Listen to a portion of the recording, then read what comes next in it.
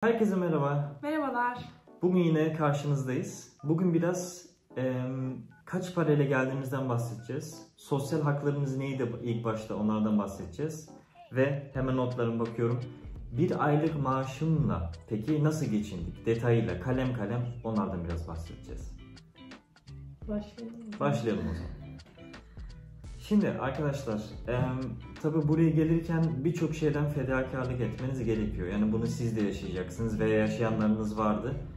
Elimizin, avucumuzda ne varsa her şeyi sattık, paramparça ettik ve buraya geldik. Biraz bir riske girdik, o riske girmek zorundaydık. Yani özel derslerden biriktirdiğimiz işte paraları kenara koyduk. İşte maaştan ne arttırabiliyorsak kenara koyduk. İşte küçük bir arabamız vardı. İşte palyo onu sattık. Düğün e, takılarımız vardı. Hani ana olanları ayırdık. Geri kalanları sattık. Yani ne varsa elimizde her şeyi sıfırlayıp hani doğrudan nakite çevirip buraya geldik diyelim. Bir de hani geliş sürecimizi biliyorsunuz ilk videodan zaten. Tam tamına onu da detaylı söyleyelim. 9000 euro ile geldik buraya. Yani e, bu rakamları şimdi açık açık söyleyeceğiz ki siz de kendinize göre bir plan yapabilin. 9000 euro ile nasıl start verdik? Şimdi onlardan biraz bahsedelim.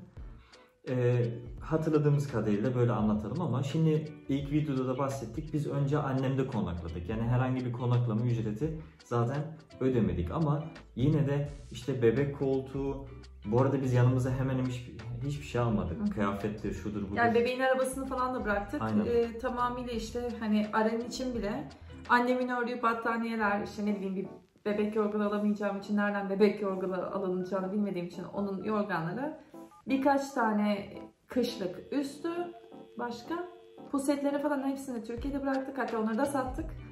E, bebek arabasını bile almadık. Kucağımızda şeyle kanguruyla getirdik Aren'e. Tabii. Değil mi? Yani her şeyi biz kendimizde de buraya geldiğimizde tabii şimdi kuzey eyaletindeyiz. O kadar montumuz, kazağımız çok çok yoktu Türkiye'de. Bunları baştan bir tedarik etmek zorunda kaldık. E, A'dan Z'ye aklınıza ne geliyorsa ya. Ama unutmayın ki annemde yaşıyoruz. Daha kendi evimizde Evet. değiliz. Ona göre şeyler aldık. Bir hemen bir ilk başta aslında 1000-1500 euro civarında bir para harcadık. Bunun için işte bebek arabası, bebek koltuğu, kendimize üst baş, çocuğa üst baş, Hı hı. e, değil mi? Yani bu tarz şeyler. Aynen. Sonra e, toplu ulaşım biraz sıkıntı diye hemen bir araba almak zorunda kaldık. Aynen. Ondan bahset istersen. Aynen.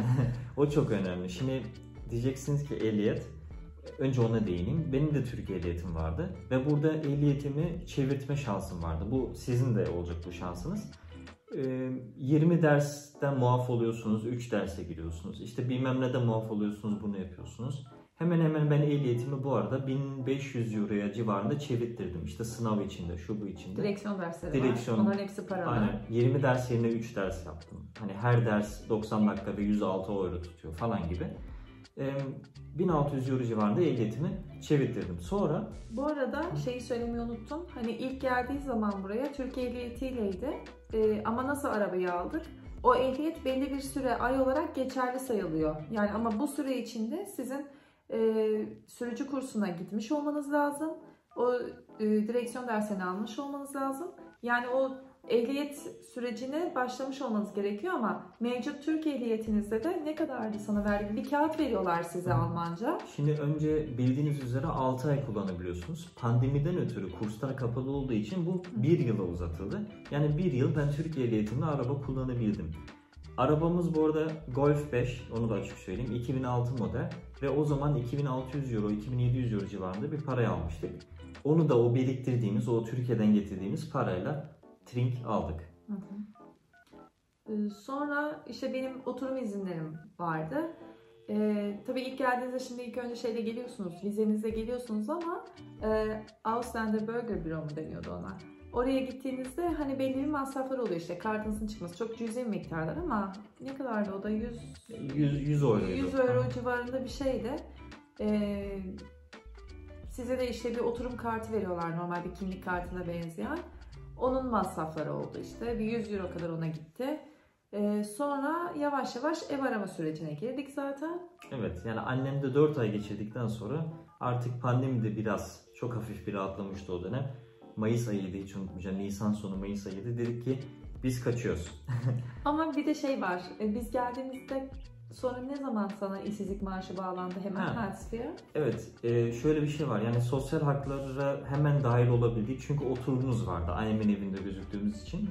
Şimdi biz 25 Şubat'ta geldik. 26 Şubat'ta e, sosyal haklarımızı talep ettik. Bunun içinde çalışmadığımız için işsizlik maaşı, çocuk e, olduğu için çocuk parası, anne parası. E, bu işlemler 2-2,5 ay sürdü bu Hı. arada. 2-2,5 ay beklemek zorunda kaldık. Hiçbir şey almadık. Ama aldığımız gün geriye dönük hepsini bize toplu bir ödeme olarak geri ödediler. Yani, iki buçuk ay e, cebimizden evet harcadık ama iki buçuk ay sonrasında bize işte ne kadarsa onu tamamıyla her ay kaybettiğimiz o iki buçuk ayı da verdiler. Ar- ardından da hani o ayın e, işsizlik maaşını da hemen yatırdılar. Hani herhangi bir gecikme olmadı onunla da. Aynen öyle. Sonra işte ev arayışına girdik. Ee, biraz şanslıyız ki çabuk ev bulduk. Yani bir ay civarında bir arama gerçekleşti. Sonra taşındık. Şimdi asıl burası çok önemli. Evet hani taşındığımız süreçte şöyle bir şey. E, ev arama sürecimiz şansımıza kolay geçti. Çünkü hani biz e, böyle müze gezer gibi ev gezmedik. E, şansa ev arıyoruz dedik. Aradığımız şirkette tam işte oturan kişi çıkmak üzere olan bir ev var dedi. Bir bakmak ister misiniz dedi aile uygun. Dedik bakalım tamam. E, bir baktık tamam çok beğendik evi. E, şans olarak da hani adam herhalde bizi biraz tuttu aile olarak. Başka kimseye göstermemiş. Biz de eski kiracı bize evi gösterdi. Hiç yani kira e, o şirketin e, tanıtanı ne, ne, ne, ne deniyordu ona? Emlakçı. Emlakçı. Emlakçı e, bize evi gezdirmedi. Dedi ki oradaki kiracı size gezdirir, anlatır falan dedi. Hani bize şey dedik aman evi kaçırmayalım hani biraz baskı yapalım falan dedik. Meğersem hiç başka kimseye de şey yapmamış. Hani hemen demiş ki siz e, geçin. Hemen geç e, tuttuk eve. O süreç evet biraz sancılıydı, biraz karışıktı çünkü neyi nereden alacağımızı bilmiyorduk açıkçası. E, ve işte soruştura soruştura şeyi öğrendik. İşte mesela burada Poco gibi, e, başka Poco, e, Role, Role. Role. Role gibi mağazalar var. İşte bunlar bizim şeye benziyor. Koçtaş gibi hani mağazalara benziyor. E, toptan olarak işte orada koltuklar daha uygun fiyat olan koltuklar falan oluyor. İşte televizyon üniteleri oluyor falan. Bütün mobilyalar daha uygun fiyata. E, oralara gittik. Hani şansımıza da kampanya dönemine denk geldik. O yüzden yavaş yavaş öyle uygun fiyata evleri dizmeye başladık. Ama buradaki sıkıntılarımızdan bir tanesi şuydu. Bazı mağazalar şunu söylüyor. E, atıyorum bir koltuk ya da bir masa beğendiniz. 15 hafta sonraya teslimat diyor. Hani e, en büyük sıkıntımız buydu mesela. Hani bize hemen bir eşya lazım. Hani eve gireceğiz. Yatağımız yok, koltuğumuz yok. Ama bazen bir koltuk beğeniyorsunuz 12 hafta sonra diyor. Neden? Hani işte teslimat, pandemi koşulları bilmem ne falan. E, bayağı bir sıkıntı çektik. Buradaki harcamalarımızla da tabii ben bilmediğim için evin kasası cevap versin. Yani şöyle hani ona da değineyim. Tabii her istediğimizi de onun için alamadık. Çünkü bir koltuk beğeniyorsunuz çok güzel. Ama diyorlar ki işte 12 hafta. Bir masa beğeniyorsunuz yemek masası çok güzel 20 18 haftaydı. hafta. Yani Bir tanesi 20 hafta sadece bir yemek masası için. iki sebep var. E, çoğu ürün Çin'den geliyormuş. E, pandemi izin vermedi vesaire vesaire. Yani çok detaylı işler.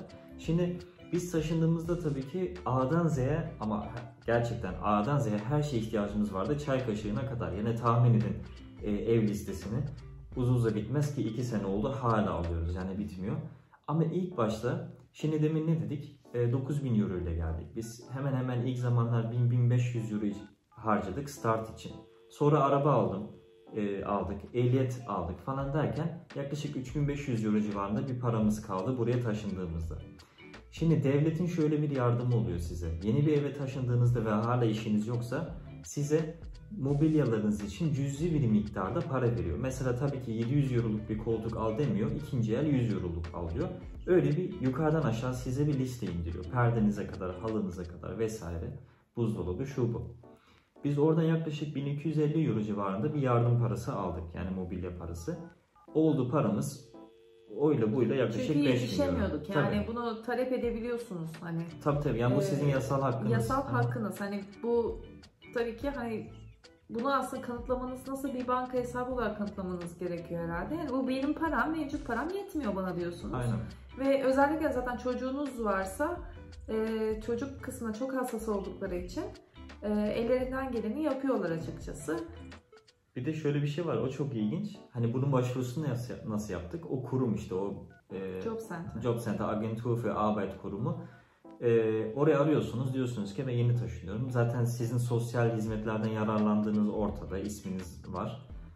Diyorlar ki sizin neyiniz var? E, bizim hiçbir şeyimiz yok. Soruyor kadındaki, telefondaki kadın. Perdeniz var mı? Yok. Tamam işte bilmem ne euro. Halınız var mı? Yok. Tamam o zaman şu kadar euro. Gibi yarım saat bir check ettik listeyi. Çok özür dilerim. Bir de şey var. Yani bu normalde pandemi koşulları yüzünden telefonla oldu. Yoksa tuttuğunuz evi gelip bakıyorlar. Bu arada tuttuğunuz evi de şey söylüyor devlet. Hani siz 3 kişisiniz şu metrekareye kadar, şu oda sayısına kadar ev tutabilirsin. Hani gidip de ben mesela 3 kişiyim ama 120 metrekareye tutamıyorum. Devlet bana işte 75 metrekare diyorsa ben 75 metrekare 2 artı 1 ya da işte 1 artı 1 neyse o kadar ev tutabiliyorum. 76 metrekareye izin vermiyor. Ee, ve siz evi tuttuktan sonra işte o kurumu tekrar arıyorsunuz. O kurum geliyor, evinize bakıyor, evinizi geziyor. Hangi ihtiyaçlarınız var onun listesini kendileri yapıyorlar. Ama biz e, buraya geldiğimizde bu süreçte bütün devlet daireleri dışarıdan e, sivil almaya kapalıydı. Sadece memurlar içerideydi ve home office şeklinde sıralı sıralı geliyorlardı. O yüzden hiçbir şekilde hani hiçbir memur ne başka bir eve gitti ne de bizi yanlarına çağırabildiler. O yüzden telefonla halledebildik. Hani biraz uzun anlattım aslında ama. Yok doğru yani e, şimdi her şeyimizi de satın aldıktan sonra e, sosyal haklarımız yani daha doğrusu e, sosyal haklarımızdan bize gelecek olan para tamamen artık değil mi planlı bir şekilde harcamaya dönüştü. Şimdi biraz ondan bahsedelim. Hı hı. E, devlet bize ayda 3 kişi olduğumuz için 1340 euro para ödüyordu. Şimdi ben yukarıya yazacağım hep o ücretleri, rakamları. 1340 euro. Bunda e, kiramız çıkar, çıkarıyoruz. Onda 640 euro da bir kiramız vardı. Elimizde şu kadar bir para kalıyor. Bu arada bu kiramızın içinde doğalgaz faturası, su faturası var. Siz elektriği ve internet ama ayrı ödüyorsunuz. O tamamen farklı. Şimdi ama bunların üzerine, demin kalan rakamın üzerine her ay biz çocuk parası ve anne parası alıyoruz. O da toplamda 350 euro yapıyor. Yani yukarıda yanlış, e, yaklaşık gördüğünüz gibi 950 bin euro civarında bir paramız kalıyordu tüm ay için.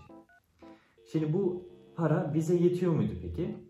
Zengin etmiyordu kesinlikle. Çok açık söyleyeyim. Yani e, para biriktiremiyorsunuz. Ballandıra yani. ballandıra anlatmaya gerek yok. Aynen. Ucu ucuna sizi kesinlikle götürüyordu. Yani gıda alışverişinizi yapıyorsunuz. Bu arada et yemeye devam ediyorsunuz. Hani yanlış anlaşılmasın. Yani alkolünüz varsa Tabii. alkolünüzü alıyorsunuz, ediyorsunuz. Yani Hı. hiçbir şeyden kısmıyorsunuz. Ama devlet size şunu söylüyor. 3 kişi siz işte e, gıda fiyatları belli, elektrik fiyatları belli. Sen ödeyeceksin internete elektriği diyor. Yani siz bu parayla rahat rahat geçinirsiniz diye bir limit çiziyor size. Ama e, yani tabii ki sürekli hani böyle çok ekstra şeyler alırsanız yetmez ama normal standart hayatınıza hiç kısmadan sebzenizi, meyvenizi normal bir hayatınıza devam edebilecek kadar veriyor ve tam 30. 30. güne kadar yetiyor. Yetiyor aynen ucu ucuna. Yani e, Zara'dan mont almıyorsunuz da işte Primark'tan alıyorsunuz. Yani aynen. gibi gibi örnekler ama yetiyor. Yani, yani devlet sizi süründürmüyor bu Çok e, şunu samimi olarak da şunu söyleyeyim. Hani burada işte bir markacılık falan yok. Hani herkes her mağazadan giyiniyor.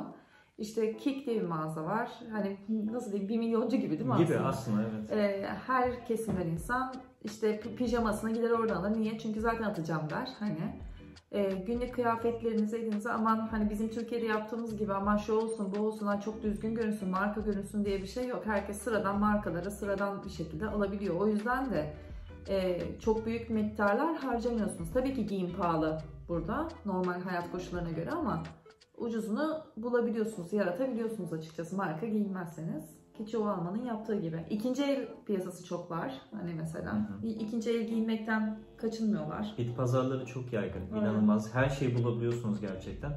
Ve Sevin dediği, dediği gibi Türkiye'de maalesef hani biz de yaşadık. Biraz bir utanma algısı vardır. Hani ay üstündeki şu mu bu mu bunu pazardan mı aldın?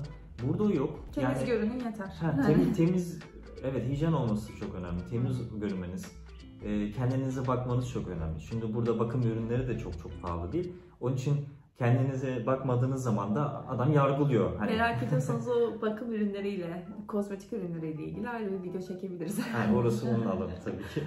Şimdi e, dediğimiz gibi arkadaşlar yani sosyal hizmetten, sosyal haklardan aldığımız parayla biz bir ay bu sayede geçindirebiliyorduk rahat bir şekilde. Ee, şimdi de tabii biz taşındıktan hemen hemen 2 ve 3 ay sonra yani kısa bir sürede ben bu arada denklik sürecim devam ediyordu o zaman ve hala da devam ediyor. Ama artık evde oturmak istemedik ve baktık ki e, alım gücü çok yüksek. Çalışayım. Yani ben başlayayım en azından çalışmaya. Çünkü Sevi Aren'le ilgilenmek durumundaydı. Ve ben çalışmaya başladım. E, nerede çalıştığımı vesaire ilk videodan biliyorsunuz. Ama maaşımdan bahsetmemiştim. Şimdi biraz maaşımızdan bahsedelim ve bir ayımız bu maaşla nasıl geçiyor? Şimdi az evvel 1340 euroyla hayatı anlattık.